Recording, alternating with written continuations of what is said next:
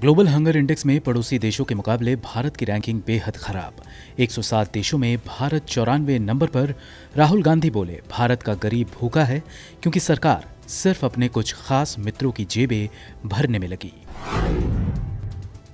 भारत में घटने लगा कोरोना का कहर।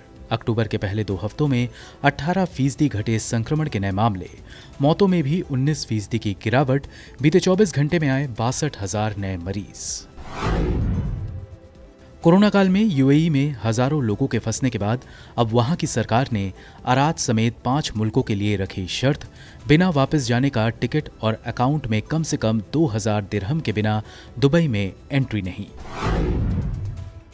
बॉलीवुड अभिनेत्री कंगना रनौत की मुश्किलें बढ़ी। मुंबई की बांद्रा कोर्ट ने कंगना के खिलाफ सांप्रदायिक नफरत फैलाने के आरोप में एफआईआर दर्ज करने का दिया आदेश।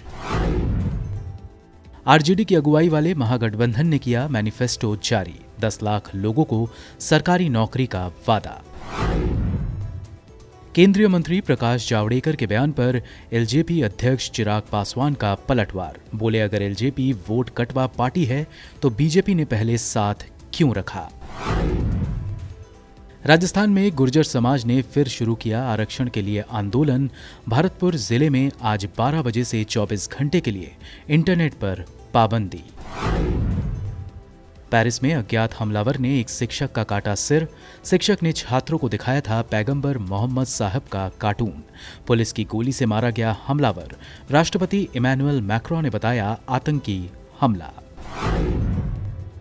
न्यूजीलैंड की प्रधानमंत्री जसिंडा आर्डिन की लेफ़्ट विचारधारा वाली पार्टी की आम चुनावों में ज़बरदस्त जीत। अपने पद पर बनी रह सकती हैं जसिंडा।